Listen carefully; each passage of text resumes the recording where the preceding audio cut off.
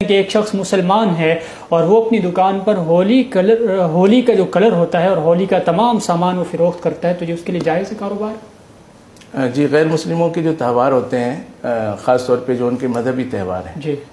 ان تہواروں کے اندر شرکت کرنا بھی ٹھیک نہیں ہے۔ اس کی مبارکباد دینا اور اس کے حوالے سے کوئی تحفے تحائف کا تبادلہ جی۔ یہ چیزیں بھی ٹھیک نہیں ہوتی۔ اور یہاں پر جو انہوں نے کہا ہے کہ ہولی کا پورا سامان اور وہ چیزیں فروغ کی جائیں تو یہ ایک معاشیت کے اندر ایک گناہ کے اندر ایک معاونت ہے۔ ٹھیک ہے۔ اور اس کی بالکل گنجائش نہیں ہے۔ یہاں پہ دو باتیں سمجھ لینی چاہیے۔ ایک تو یہ کہ ان کا عمل یہ ان کا عمل ناجائز ہے۔ صحیح۔ کیونکہ یہ یہ ذریعہ بن رہا ہے ایک معاشیت کا۔ جی۔ اور وہ معاشیت ویسے بھی ہونی ہے لیکن بہرحال انہوں نے اپنا حصہ اس میں ڈال لیا ہے تو لہٰذا اب یہ بھی گناہ گار ہوں گے۔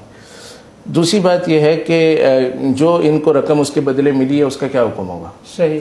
تو اس میں کیونکہ یہ جو کلرس ہوتے ہیں یہ عام طور پہ ویسے بھی بکتے ہوں گے۔ جی۔ تو اگر ہولی کے کلر اس قسم کے ہیں کہ وہ کہیں اور نہیں بکتے پھر تو وہ سارے کے سارے پیسے آپ صدقہ کریں۔ ٹھیک۔ اگر وہ کہیں اور بھی بک سکتے ہیں لیکن ہولی کی وجہ سے خاص اس کی قیمت بڑھ گئی تھی۔ جی۔